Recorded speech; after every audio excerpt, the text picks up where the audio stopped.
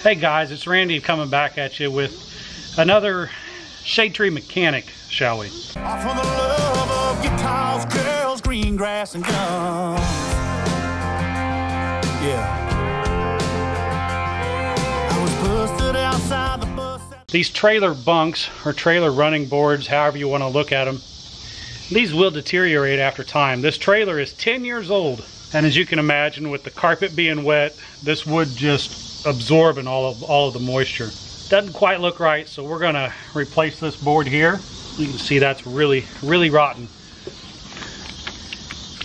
I think it looks good, dude. Let's just keep it and let's Yeah. just go with it. We good? We're about saving money. All right, guys, first things first, let's talk about uh, replacing the wood and replacing the actual carpeting that goes over it.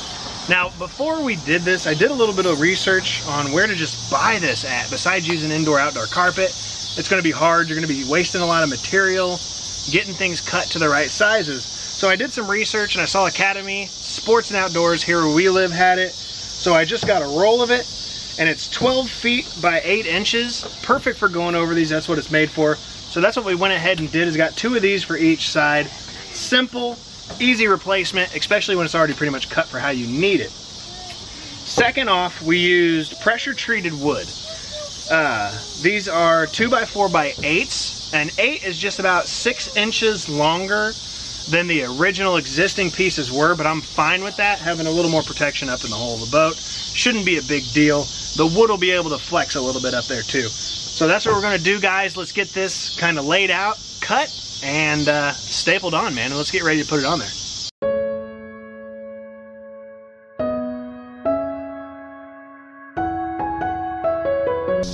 And like we were saying, guys, for my trailer, they're eight foot pieces in length, and the piece it comes with is 12. So you're gonna have a little bit of extra. So with both those pieces, you might as well just hang on to that little bit of extra just in case you need it for something, something on your boat. You never know when you might need it in the future. Just go ahead and hang on to those. Unless yours is 12 foot long, then you're kind of where you need to be. But now the way we're gonna do the edges on ours, and you can do it however you want. There's no right or wrong way to do this necessarily. It's just protecting it. Who cares? We're gonna go ahead and cut the excess just to fold it up and under. You could also do it like you would wrap a Christmas present if you wanted to, but this is just the way we wanna do it.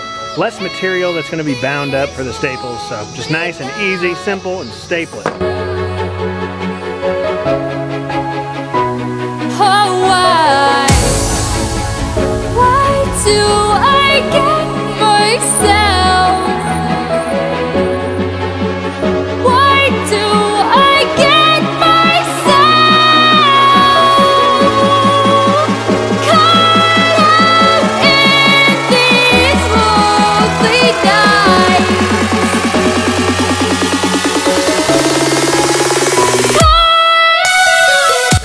Side, I'm gonna go ahead and try something different. I'm gonna use the bound and gag technique, which is something I actually learned from David Carradine when we were shooting the uh, Kung Fu TV series. So, guys check this out. It's as simple as that, man. We'll see you guys in the next one.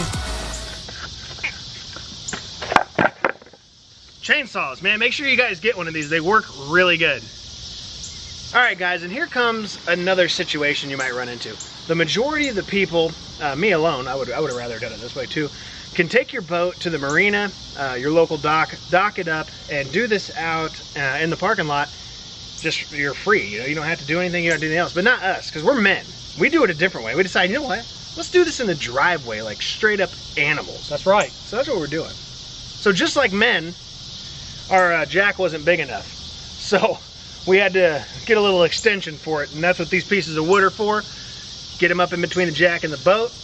Get the boat up in there a little bit on one side.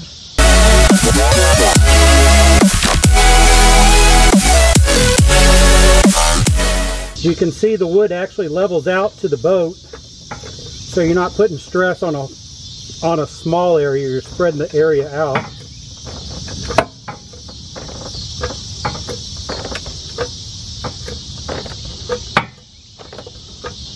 Pressure's already off the back. And I hope you can see right there the pressure just came off the front. And that's all the further that we want to do it because we don't, if this thing slips and falls, we don't want it to fall too far.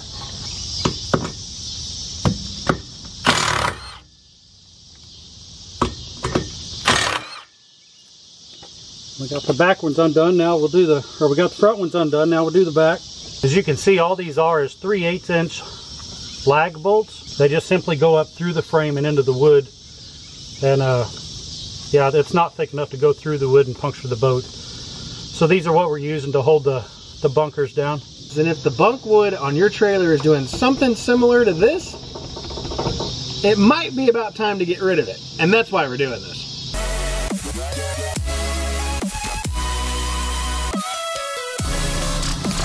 As you can see, this this piece right here is just completely disintegrated. So what we want to do is line these up together so that we can run pilot holes right here as soon as we put it on there. That way everything lines up together and stays the same.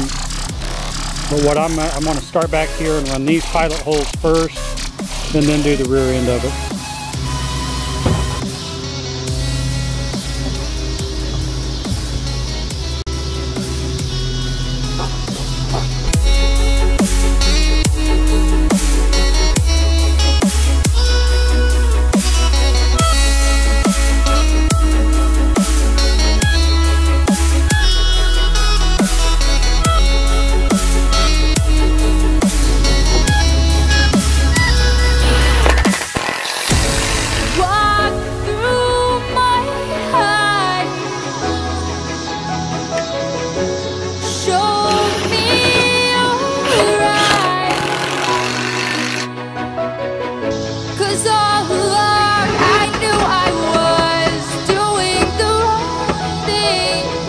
I hope you enjoyed the video. Thanks for stopping by. And this is how we install new bunker, runner rails, or whatever you want to call them.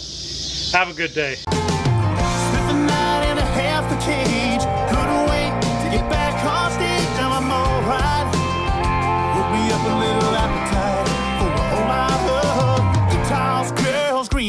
And.